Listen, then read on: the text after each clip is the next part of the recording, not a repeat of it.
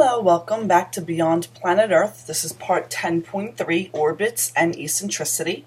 And today's aim is to calculate the eccentricity of an ellipse and describe how gravity affects the orbits of planets. So, how are orbits of planets described? Orbits are described of the planets in our solar system as slightly eccentric ellipses. So how does an ellipse compare to a circle? If you look at this picture here, this would be a perfect circle. All right? This would be an ellipse. So once we get a little more flattened or a little more oval to, in shape, it, this is called an ellipse. When it says slightly eccentric, this tells you it's just barely off from a perfect circle, just slightly off. An ellipse looks like a stretched out circle. So the more it stretches out, the more oval it gets.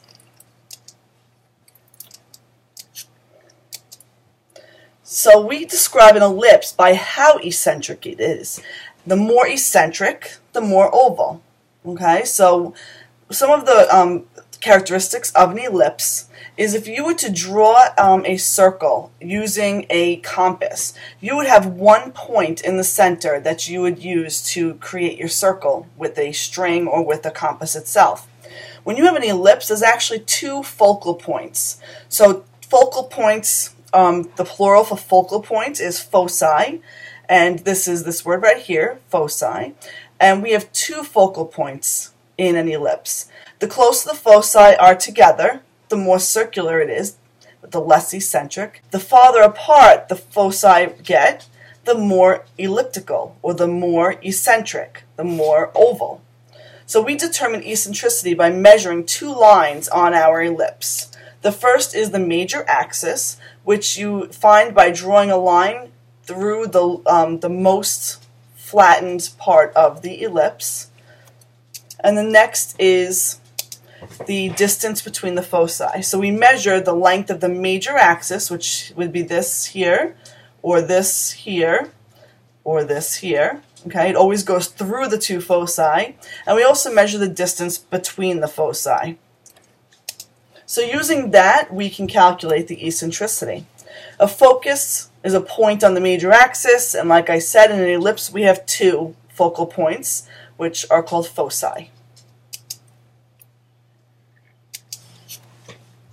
So if we look on the front of our reference table, we're going to use our last equation that we haven't yet used, which is the eccentricity formula. So if you look on your front page, you'll see this formula for eccentricity, and it says it's the distance between foci divided by length of the major axis. I want you to add the shorthand for this on your reference table. So you can do this either in pen or in colored pencil. And for eccentricity, we um, abbreviate this to E equals D over L, where E is eccentricity, D is the distance between foci, and L is the length of the major axis.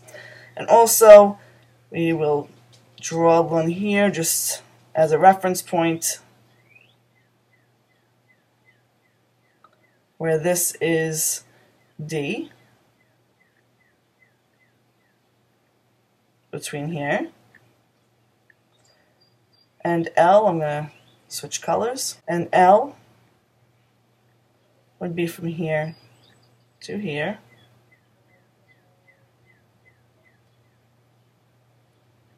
That's my little L.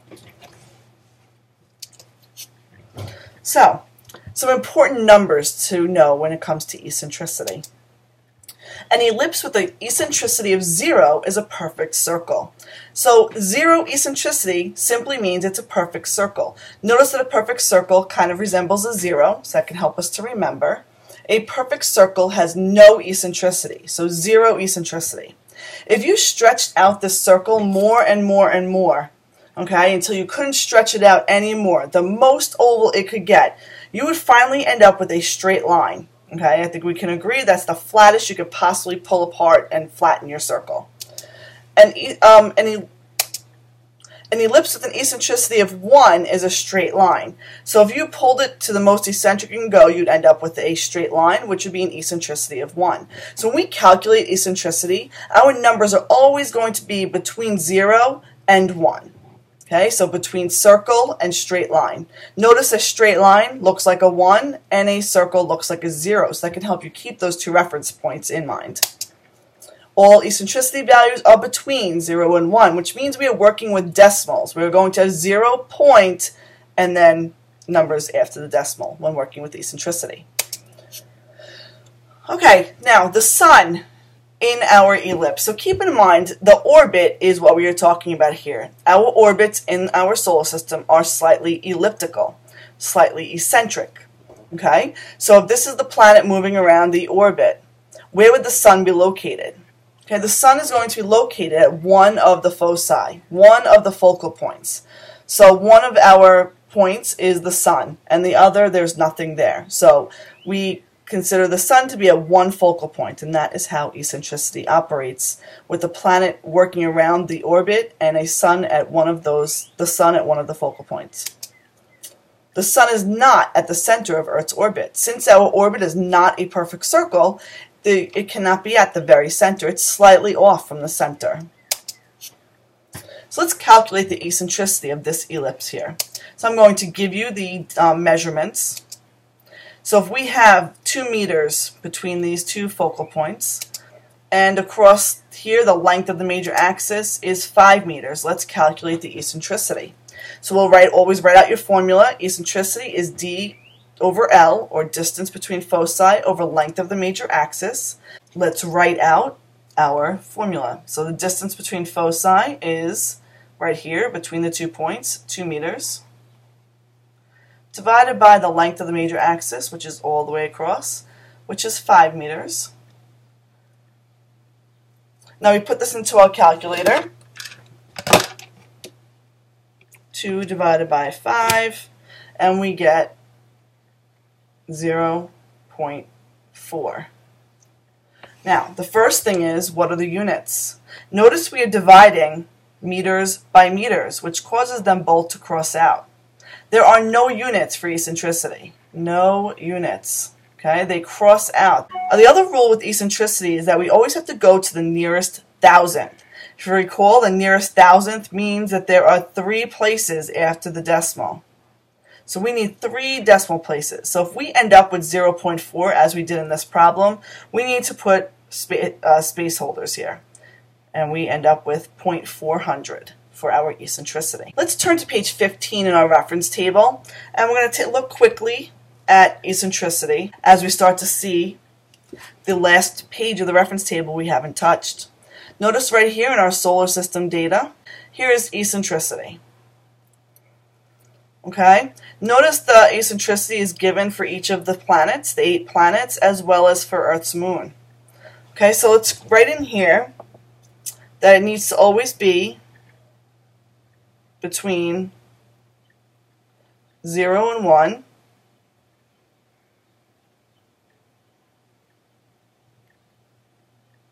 And you'll see these all are given to the nearest thousandth. Now remember the rule. 1 is eccent is very eccentric or very elliptical and 0 is a perfect circle. So 1 is very eccentric or elliptical and 0 is a perfect circle. Perfect circle. So looking at our question here, which planet has the most perfectly circular orbit? So let's take a look at these numbers here. Which of the planets has the most circular orbit? So if it's most circular, are we looking for a number closest to 0 or closest to 1? So since we said that perfect circle is at 0, we want the number closest to 0, so the smallest number. So looking here for the smallest number, the planet with the most circular orbit is Venus with a 0.007. So there, the, Venus's orbit is the least eccentric, the least elliptical, the most circular. They all mean the same thing. How about the planet with the most eccentric orbit? Most eccentric or least circular. So remember, most eccentric is the higher number closest to 1. So which of our orbits has the highest eccentricity? That would be Mercury with a 0.206. That is the highest eccentricity of our planets. So Mercury's orbit is the least circular, the most elliptical, the most eccentric, the most oval. And just a side note, since we were talking about the moon the last couple of days, what is the eccentricity of the moon's orbit around the Earth? Okay, take a look at the moon, the Earth's moon down here, and there's information given for its period of revolution, its period of rotation, and the eccentricity of its orbit is right here. So the moon's eccentricity is 0.055. Its orbit is has a 0.055 eccentricity. How does the force of gravity affect um, affected by the mass of objects and the distance between them? So how does gravity have an effect on our orbits? The bigger an object is, what do you think happens to the gravity? The force of gravity increases the more mass an object has. So the larger the object, the more gravity it will have. So the sun has immense gravity compared to the planets. Since its distance is further than some, like the moon has more stronger gravity on the Earth because it's so much closer, even though the, the sun is so much larger. But the distance between also affects. So as distance between the objects increases, our force of gravity decreases. How does gravity affect the speed of a planet as it orbits the sun? So gravity increases when the um, object is closer to the planet. When the two planets are close together, or the sun and the planet are closer together, the gravity is stronger, and when they're further apart, the gravity is weaker. So gravity changes depending on the um, how close an object is in its orbit. If you recall, we said that Earth is closest to the sun in January.